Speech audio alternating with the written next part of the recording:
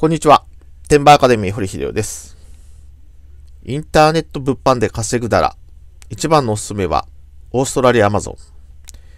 副業初心者でも、本業以上に稼げるチャンスがあります。まず、オーストラリアはね、えー、まだ始まって間もなくて、まあ、一番儲けやすい FBA が始まってないんで、まあ、私のサポートの、まあ、アメリカのアマゾンサポートの実績を、えー、お見せします、ね。オーストラリアはアメリカよりも数段楽に稼げます。で、アメリカのサポートだとですね、まあ、数ヶ月でこの売上1ヶ月で1万1309ドルと、ね、約130万ぐらい。で、これだと利益が40万弱ですね。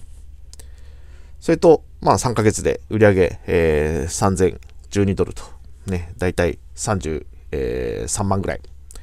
で、この場合で、えー、利益が、まあ、10万円です。それから、売上が6073ドル、ね、約66万円。まあ、この場合で、えー、利益がだいたい20万というのがね、えー、まあ、3ヶ月から半年で、えー、アメリカのアマゾンのサポートをして出していただいた、えー、実績という形になります。で、今回、今回というか去年ね、えー、Amazon オーストラリアが始まりました。まあ、12月5日にスタートして、まあ、日本、アメリカ、ヨーロッパを上回る過去最高の売上を記録と。これはね、初日の売り上げが今までどこの市場の売り上げよりもオーストラリアやっぱ多かったということです。で、しかもね、FBA が始まった時どんな品質で届くのかという、まあ目安になる、まあ今、Amazon が自分の商品だけ FBA で送ってるんですけど、これなんとね、2日で届くと、ね、いう素晴らしいオーストラリアとは思えないね、スピーディーで、え、正確な、え、配送システムを作り上げてます。で私たちはね、えー、FBA が利用できるようになってからが amazon.com.au の本番と。これ FBA っていうのはね、まあ、物を売るときめんどくさいのは、えー、商品をね、えー、売った後に集金したり、梱包して発送したり、あるいはその後ね、クレームが来たり、交換希望だとか返金だとか、いうのを来たやり取りが面倒なんですけど、それら面倒な作業をすべてね、Amazon がやってくれます。だから私たちのやることは、商品を選んで Amazon に送るだけと。ね。そうすれば、あとは Amazon が販売して、えー、梱包して発送して、集金して、クレームがあったらクレーム対応、ね、返金希望あったら返金というのをね、やってくれます。そして、オーストラリア市場はブルーオーシャンです。ね。オーストラリアは浪費家が多いと。オーストラリアの平均所得というのは、1人712万円。で、しかもこの平均所得に近い金額の、えー、初任給、ね、最低時給が決まってます。だからね、日本みたく、えー、初め年収200何十万で始まるとか、そういうことなくてね、いきなり、えー、大体7万ドル弱ですから、えー、600万ぐらいから、始まります。うん。新卒、大学出てね、えー、すぐ就職したら600万から始まるという形です。で、これだけ高所得でね、えー、それから、えー、株価とか不動産価格上がってるんで、で、老後は、えー、ちゃんとした年金システムがあるということでね、まあ、貯金して老後に備えようというような人はね、あんまりいないです。えー、もう、え、入ってきたら、たくさん入ってきたのをたくさん使っちゃうという形ですね。で、日本と特に事情が違うのは、法律で最低時給が決まってても、えー、破ってね、えー、安い給料で人をこき使ってると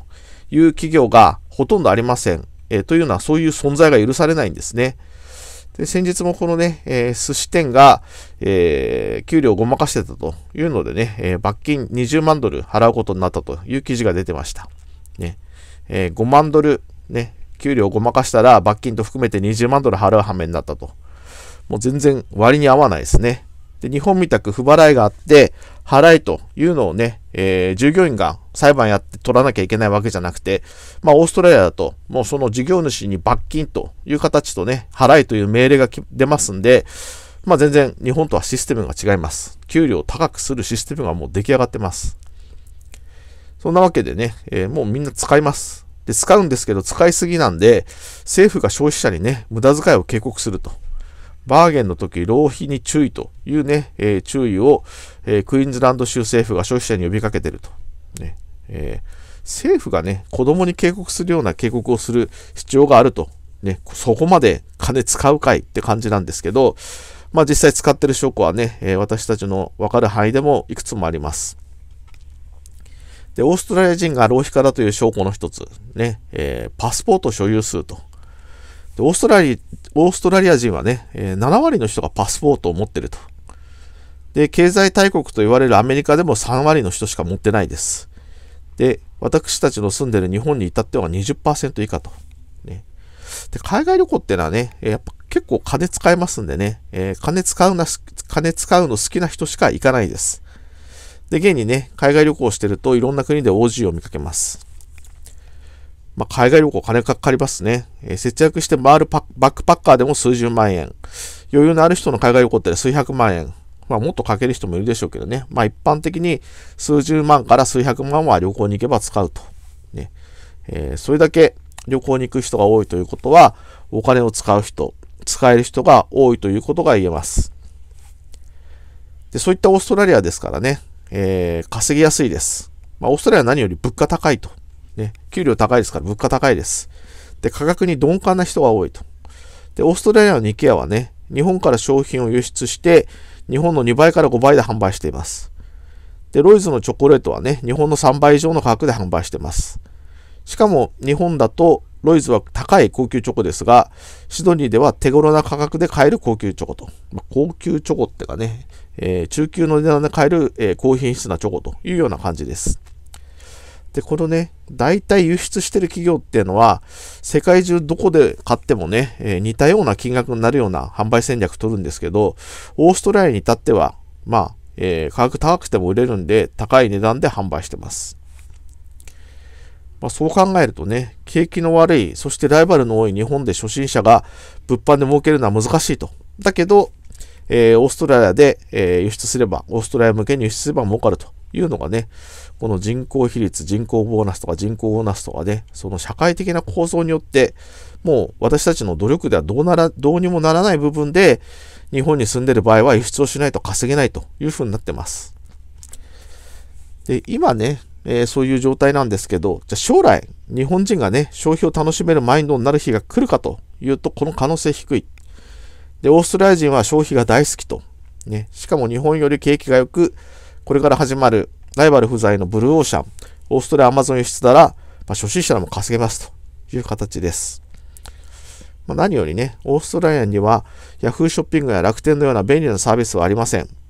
ネットショッピング不毛地帯にいきなり、まあ、世界最強のネットショップである Amazon が上陸します。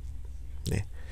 これは日本に、えー、ヤフオクが登場した時、そしてアメリカに eBay が登場した時より衝撃的な出来事です。